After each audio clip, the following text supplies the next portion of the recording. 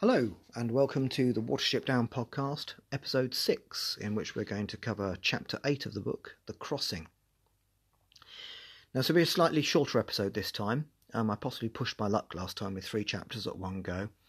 Um, we'll see how that goes. If, if, it's one person talking, maybe shorter episodes are, are the best way to go with that one.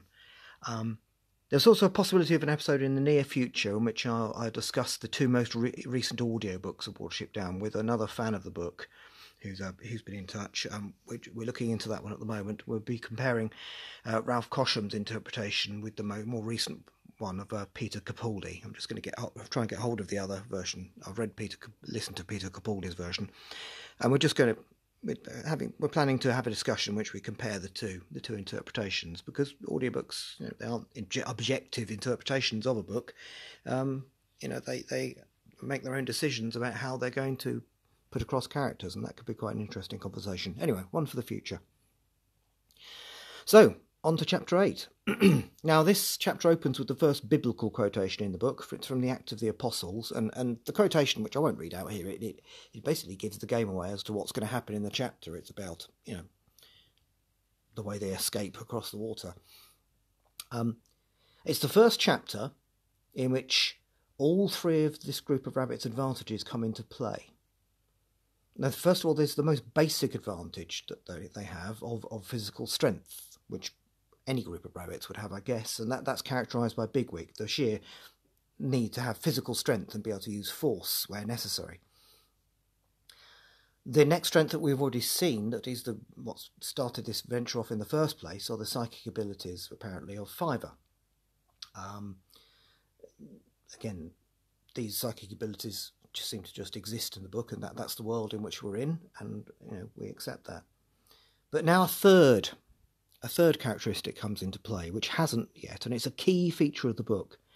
And you know, apart from Fiver's warnings, it, you could argue this is also one of the, in a way, the most important characteristic in the book, um, which is the use of rationalism and the ability to innovate.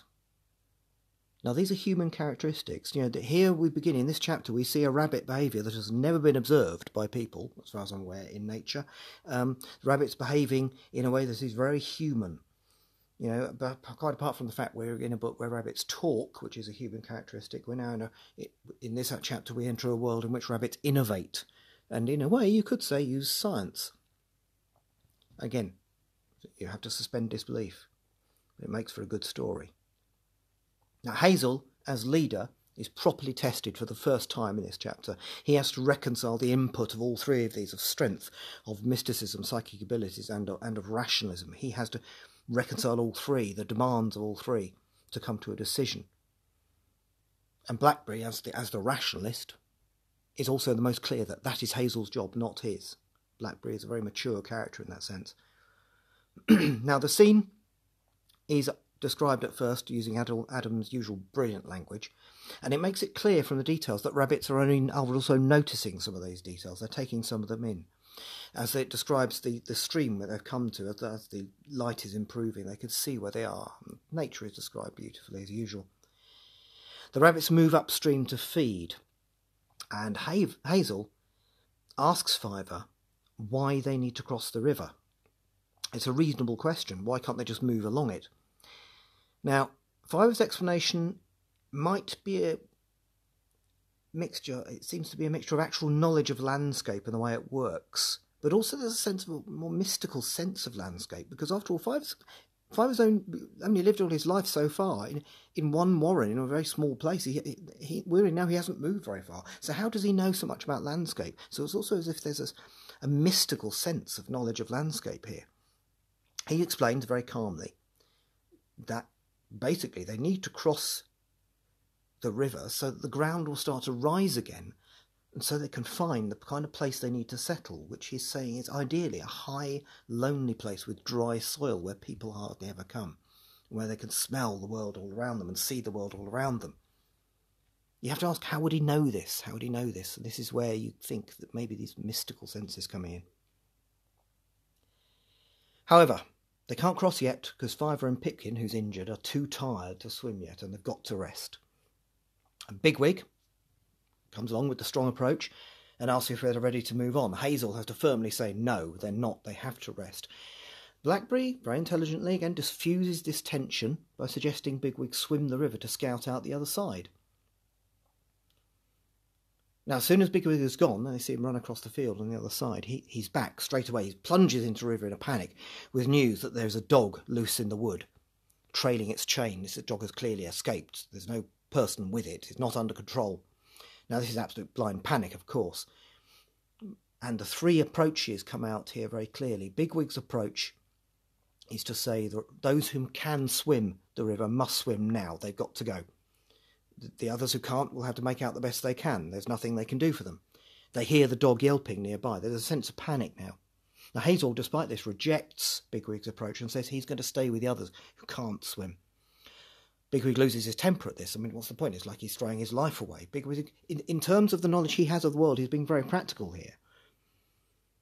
But now Hazel notices that Bigwig isn't being scared. He's not scared uh, for himself. He's just interpreting the world as best, as best he can in the circumstances they're in. He can't see another way. Now, this is where Blackberry's innovation comes in because Hazel is getting very conflicted here. It, makes it clear that Hazel is finding it very difficult to make a decision here about what to do, apart from the brave decision of staying with the rabbits who can't swim.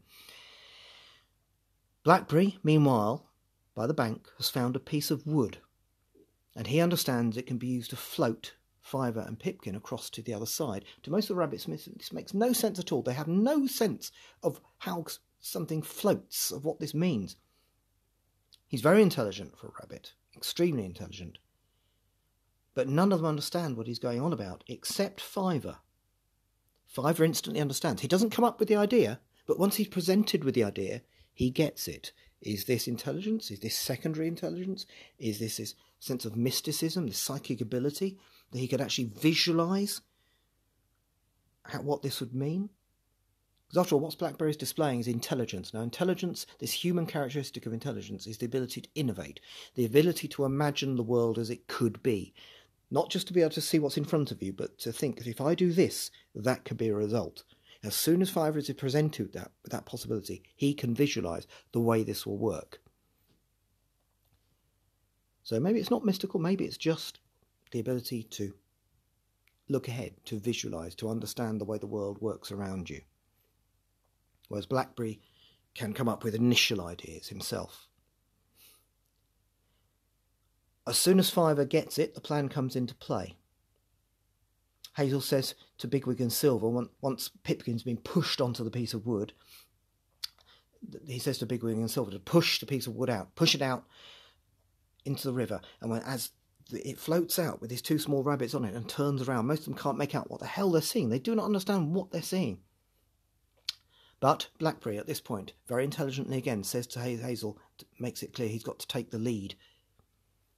But once now they're out in the river, Hazel needs to tell them what to do. Now Hazel does, and as a result, they all start to swim across the river. And they get across pretty, pretty, pretty easily. For most of them, this is a fairly easy swim. There are stronger swimmers, such as Silver and Bigwig, but pushing the little raft is not easy. He goes under once, but he, he no, sees he needs to push. Once it's been, been presented to him, this is what you need to do. Bigwig is very clear, and he gets them across, him and Silver possibly helping as well, get them across the river. Suffice to say, they all reach the other side safely, and they make for a hedgerow on the other side. They don't hesitate on the bank, they make for a hedgerow. And Fiver makes it clear to Blackberry that he knows that his idea has saved him and Pipkin. Blackberry comments that yes, that this was a good idea and they should bear it in mind for the future. He doesn't seem boastful at all, it's just objective. It was a good idea, it's clearly worked. And of course, his idea to bear this in mind for the future will prove crucial later in the book. A bit of foreshadowing there. So, in the next episode, the rabbits make their way across new open countryside. What will they find?